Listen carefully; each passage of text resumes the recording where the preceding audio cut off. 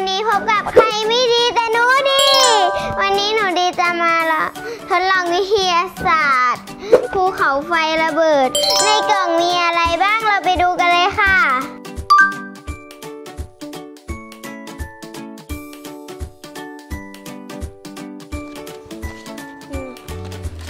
จะเป็นแกะถุงนี้ดูเป็นสิมันเป็นกระดาษค่ะ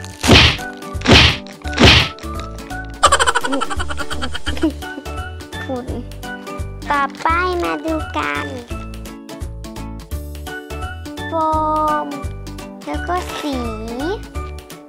แล้วก็สีตัวหยดเป็นสีลาว่า แล้วก็อะไรก็ไม่รู้ แล้วก็อันนี้อ๋อ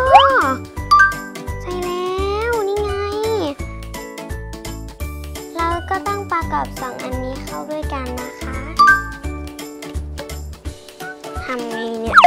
อ๋อนี่ไงเจอเทปกาวสองหน้าแล้ว แล้วก็กางเลยค่ะ แล้วเราก็ติดกาวตรงนี้ตรงนี้ตรงนี้แล้วก็ตรงนี้ก่อนนะคะ เสร็จแล้วเราก็ประกอบให้เข้าร่างเลยนะคะ นี้จริงๆจำเป็นต้องมีผู้ใหญ่ช่วยนะคะ ถ้าทำไม่ได้ และอันใหญ่แปะตรงฐานนะคะไม่ได้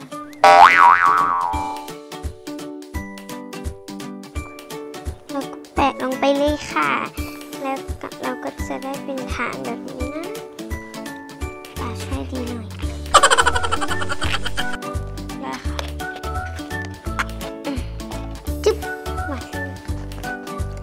ค่ะเสร็จแล้วค่ะ มาดูขั้นตอนต่อไปกันค่ะเพื่อนๆ ก็จะเอาผ้าผืนนี้ค่ะมาพันรอบเลยค่ะ ค่อยๆพันนะคะ มันมีฝุ่นต้องระวังเข้าจมูกด้วยนะคะ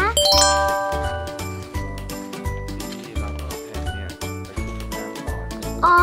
ต้องเอาแผ่นไปชุบน้ำก่อนนะคะทุกคน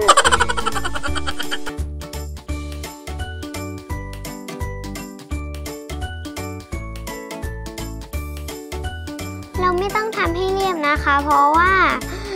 มันจะได้เหมือนผิวของภูเขาไฟค่ะ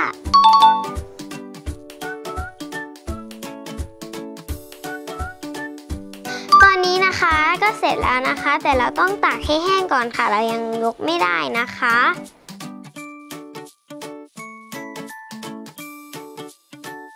ตอนต่อไปก็เป็นขั้นตอนที่หนูดีรอคอยมานานมาก ๆเลยค่ะ ก็คือขั้นตอนระบายสีค่ะ เขาก็จะมีสีมาให้นะคะสองสีค่ะในกล่อง ก็จะมีสีน้ำตาลกับสีเขียวค่ะ ทุกคนดูสิคะภาพตัวอย่างภูเขาไฟก็จะมีสีน้ำตาลแล้วก็สีเขียวเหมือนตรงนี้เลยค่ะ Yeah! ถ้าเพื่อนๆมีสีโปสเตอร์อยู่ที่บ้านอยู่แล้ว ก็เอามาใช้ได้นะคะ เราสามารถใช้ฟองน้ำมาจิ้มสี แล้วก็ทำเป็นพุ่มไม้ได้นะคะ เพิ่มความเร็วด้วยค่ะ แล้วเราก็จะได้นี้ค่ะ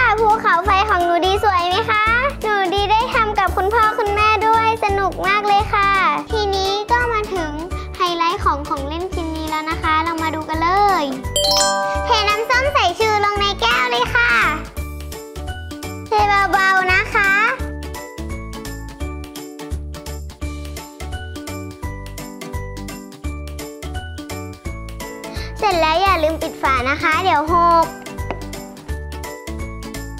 แล้วก็จะใส่สีผสมกับน้ำส้มสายชูเลยค่ะ แล้วก็คนให้มันกระจายตัวนะคะ เรามาเทลาวาของเราลงในภูเขาไฟเลยค่ะ แล้วก็ใส่เบกกิ้งโซดาค่ะ เพื่อนๆจับตาดูให้ดีๆนะคะ พร้อมหรือยังคะหนึ่งสองสามว้าวลาวาออกมาแล้วค่ะเพื่อนๆ เป็นยังไงบ้างคะเพื่อนๆ แล้วรู้ไหมคะทำไมมันถึงเกิดภูเขาไฟขึ้นมา เพราะว่าพอน้ำส้มสายชู ผสมกับเบกกิ้งโซดา จะทำให้เกิดค่ะก๊าซคาร์บอนไดออกไซด์ด์เหมือนภูเขาไฟระเบิด ถ้าเพื่อนๆอยากเล่นแบบหนูดี ไปหาซื้อได้ที่เซ็นทรัลทุกสาขาสำหรับวันนี้หนูดีต้องลาไปก่อน บ๊ายบาย